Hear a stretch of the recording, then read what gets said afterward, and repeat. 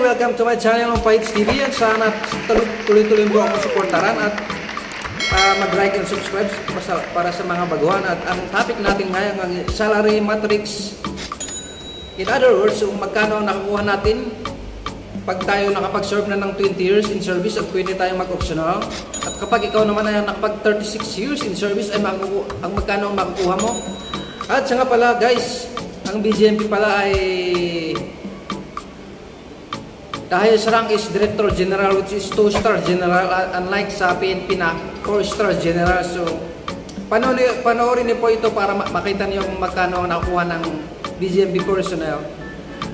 From the highest rank, Director General goes to Jail Officer 1. So, keep on watching guys.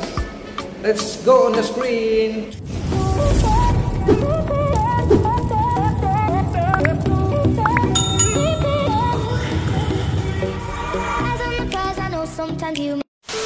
Once again mga kaibigan at mga ating kasama ah, ang Director General lang po ng BGP ay 2-star general lang po. Unlike sa PNP naabot sila ng 4-star general. So base, base sa ating makita sa screen ang BSP nila is 125,574 at ang kanilang years of service is 36 years. At ang pag nag-retire ka is ang inyong makuha monthly pension ay 169,524 so akalain mo napakalaki yan. Imagine mo pag pag sa PNP yan. So yan lang po kaibigan ang matatanggap mo kapag umabot ka ng 36 years pero kapag ikaw naka, nakapa 20 years in service uh, 91,926 ang inyong makukuha. Ayun po tingnan niyo po.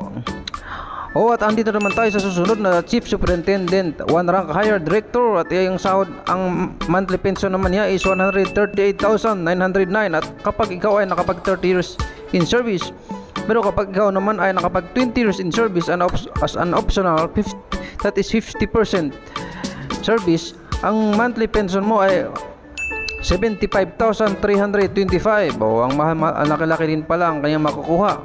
Pag chief superintendent one rank higher to director. So ayan kaibigan.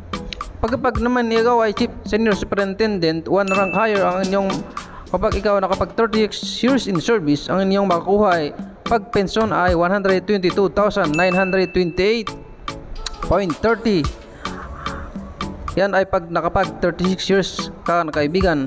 Pero kapag ikaw ay nakapag optional ay aabot din ng mas malaki. Pero tignan natin kaibigan sa 20 years in service. Optional yun eh.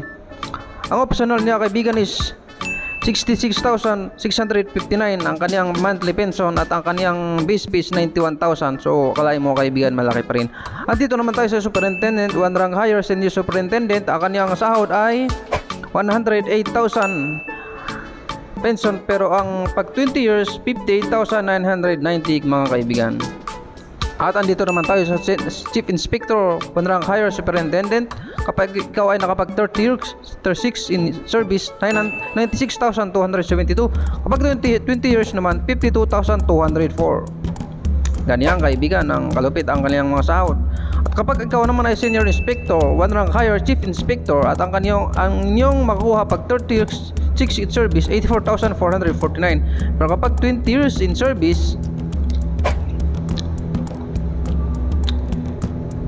ay 45,793 monthly pension.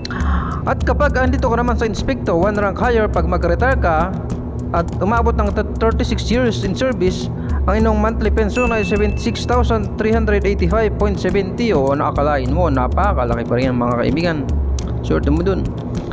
At pag andito naman tayo sa SJO4 Inspector, one rank higher nga po, ang mga kaibigan is 38,000 69 kapag ikaw ay nakapag 20 years in service pero kapag ikaw ay 36 years in service automatic 66,842 mga kaibigan. O akalain mo mga kaibigan napakalaki.